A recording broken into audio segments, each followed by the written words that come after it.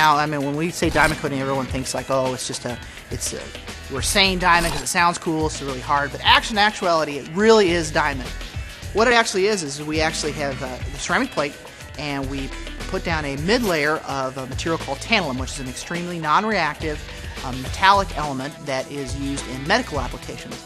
And we use that as an adherence layer between the alumina or the disc, ceramic disc, and this top coating. This top coating is made of a diamond. You say, how do you get diamond on there? Take like a chunk of diamond, you take a real diamond and slice it up into thin pieces? No, the reality what we do is, is we actually take carbon, which is the basic form of, of, um, of diamond. Everybody knows that. You take coal, you see Superman squeezing his hand and it turns into a diamond. Carbon is the basis for diamond. So we take a carbon block inside of this chamber that we've developed and we um, uh, we uh, electrically charge it, similar to the PVD process we use to create our decorative coating. And we blow little parts of the uh, the carbon off and we send it out in the chamber. We sort it out and apply such high energy that it actually gets sorted out and sticks on the surface. And when it sticks on the surface, it reforms actually as a real diamond coating.